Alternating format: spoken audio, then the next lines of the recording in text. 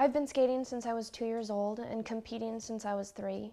I love it with all my heart. It was what has been consistent throughout my whole life. Skating is, has always been extremely instinctive for me. Um, even when I was younger, it just it just flowed. It just worked right. It just felt right, you know. And it's something that it, I didn't have to be told everything to do, and I was seemed to be pretty good at it and everything like that. Um, and it was always easier for me. I'd rather be on the ice than on the ground.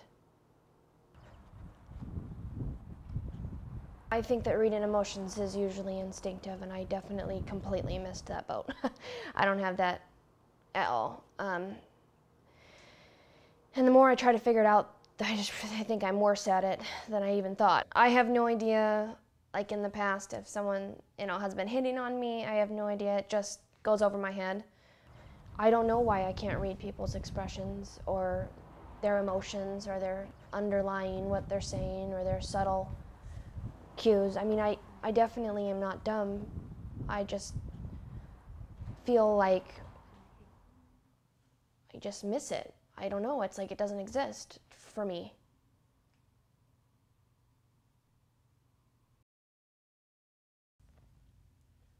I try to pick up on what other people people do and or things that I'm told and stuff that I'm supposed to do and then I just try to memorize it and do it rote how I'm supposed you know do oh I know okay now I'm supposed to shake someone's hand and then I remind myself of that and then I and then I do that so I can try to appear as normal as possible. What was that joke you th- told me on the way over? Uh, well, the joke was a horse walks into a bar and the bartender says, "Why the long face?" it's stupid. I don't oh, what's funny about that, honey? Oh, Because horse, you know, horses. Yeah. have. yeah, sorry. I don't I don't get jokes very well, but now that you explain it to me, it's very funny. yeah.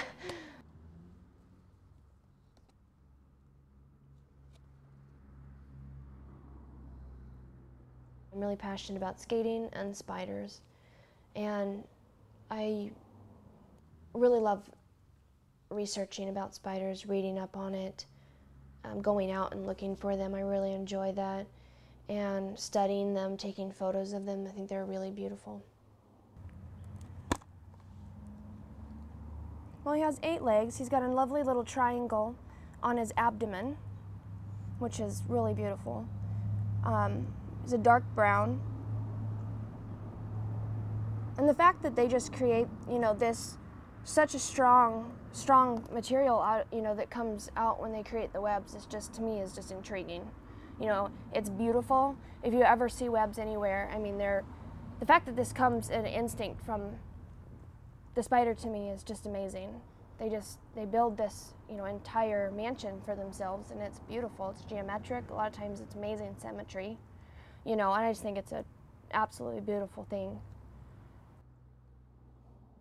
The first time I heard the word Asperger's was probably later. Uh, more recently, um, Jennifer told me, suggested that I might have that and that I should, you know, get checked out and see if there isn't anything that could help me deal with it better. Um, when I was younger, I got diagnosed with autism. Again, I didn't take anything for it. Especially in my relationship, I really wish I could read emotions better. Um, I feel bad for Jennifer because I feel like I'm really, really bad at that. And I'd like for that, especially because I know it's hard for her. she sometimes like she can do something it's okay but if she was to do the exact same thing to me she doesn't understand why it would be upsetting and i've tried tried like imagine if i did this to you how would you feel? And she's like i'd feel fine. And then i'll do it to her and she gets really mad. And i'm like i thought you said you'd feel fine. So it's she it's really hard for her to understand things if she hasn't exactly experienced that.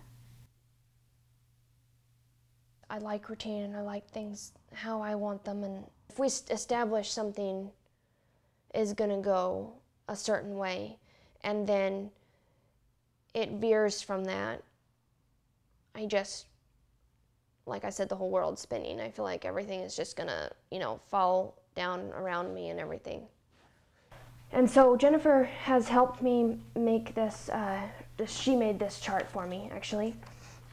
And so as my name there, and then this is the week, you know, Sunday to Saturday, and she wrote in here: uh, shower, wash face, floss teeth, brush teeth, deodorant, comb hair, drink water, and stretch. So they're all things that I don't think of to do on my own, and so this helps me because I'm a routine person. It helps me. I can come and put a sticker there if I did it. And then she said that after I get a hundred stars, we can go to the um, the zoo or the aquarium. So I'm very excited about that. I almost have a hundred. The thing is, if she gets on a regular schedule and she knows that her shower days right now are Monday, Wednesday, Friday, and her flossing days are Tuesday, Thursday. So if, if she showers all those days regularly, then she'll get used to it and want to shower because it's Now that'll be my routine. She has to do it because she can't change her routine because her routine can't change. But since we did that, it's the most effective thing I've ever done.